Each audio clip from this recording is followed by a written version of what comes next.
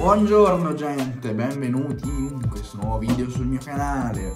Oggi siamo qua con un video del tutto inaspettato perché non si pensava che voi ieri venisse rilasciato l'annuncio del nuovo evento Apple Unleashed che non so cosa voglia dire quindi non proporrò tante teorie sui nomi perché tanto farei solo figure di merda. Però non direi di perderci tanto in chiacchiere e di cominciare subito Analizzando la locandina possiamo notare due cose intanto.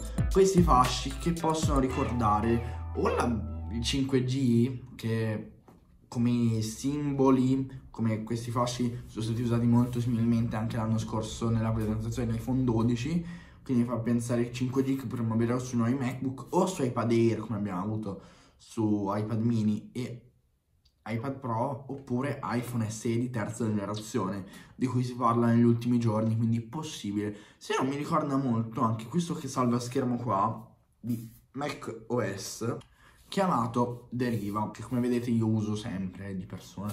Molto comodo, molto bello, ma non sono qui per parlarvene. Quindi parliamo un po' di prodotti perché è quello che a voi interessa principalmente. MacBook Pro da 16 e da 14 pollici con chip M1X mini LED, nuovo schermo soprattutto per il 13 pollici che appunto passa ai 14, ritorno dei pasti funzioni con eh, conseguente abbandono a, a parer mio purtroppo della touch bar, figlia di rivoluzioni fallite, come detto nel podcast di iPhone Italia di qualche settimana fa, e ritorno delle porte come quella per l'SD e un nuovo MagSafe. Ditemi voi cosa ne pensate. Io mi trovo bene con le due USB-C perché alla fine per la carica è universale, l'unico prodotto Apple che per la carica dico ah sì. Ma io per le porte alla fine per i video uso AirDrop, poi ci sono gli, gli adattatori che secondo me va benissimo così. Tanto, cioè, raga, c'è il jack, c'è il jack, c'è il jack. Io li, pre li, prenderò sempre per il culo per il jack eh, Apple, mi dispiace, ci hanno levato su tutti i prodotti tranne che dal Mac. Boh. Però questi MacBook, a me piace tanto questo design qua e dovrebbe andarsene, dovrebbe diventare più PAM, più iPhone 12 style.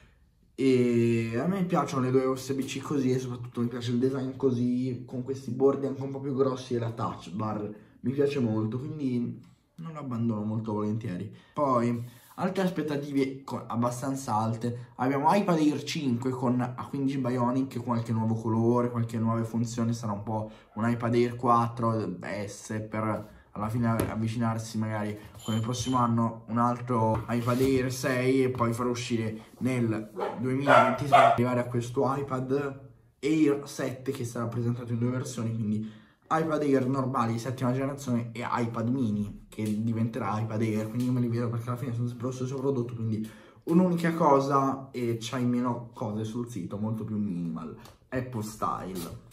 E poi abbiamo questo che mi ispira particolarmente, nuovo iPhone SE con non si sa 14 o 15 si pensa, e anche lui con il 5G, qualche nuova chicca funzionale, design dovrebbe rimanere lo stesso di iPhone 8 da 4.7, un po' rompiballe, però nuovi colori pastello in stile prodotto basic Apple come stanno facendo ora.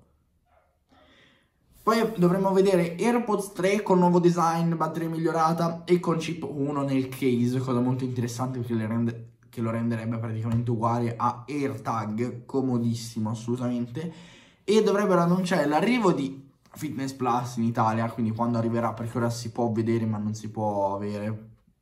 E penso che verrà attivato poi da venerdì quando arriveranno i primi Apple Watch 7. E un po' mini in Italia che... Ah, Alexa, addios. Ah no, Alexa l'ho messa di là, me l'ho dimenticato. e prodotti che non dovremmo vedere.